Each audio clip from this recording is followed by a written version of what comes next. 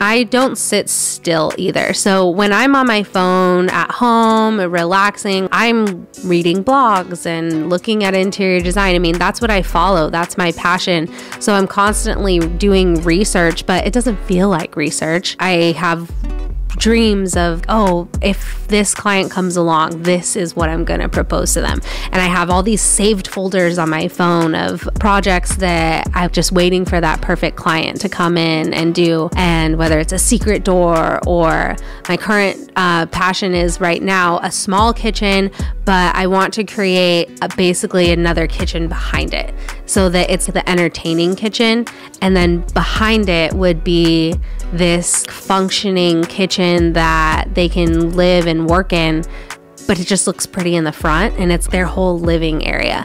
It's really pretty, but not all houses can handle that. It's not like I'm running into each client and I'm like, oh, you should do this because you know when it works, it's gonna work and it's gonna work perfectly. But when it doesn't and it's not for that house, you don't even bring it up. But I constantly am, am studying that and that's what I do in my free time is relax and look at pretty interior design stuff on Instagram.